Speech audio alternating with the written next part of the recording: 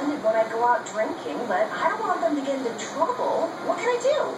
I petitioned Congress to outlaw everything that isn't suitable for children, but they're not listening. Try the Vindication Angel Curse Buster BC. Holy fucking shit! That's right. The Vindication Angel Curse Buster BC monitors television and movies for profanity and replaces it with a convenient, similar sounding word. Who the bumble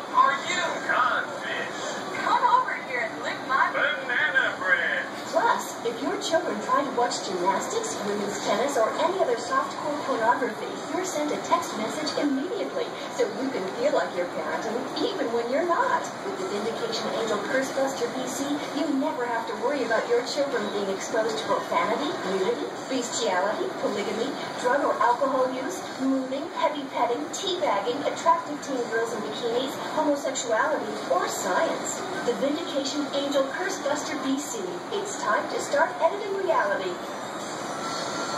It's a dark, cyber future in Tokyo 2000.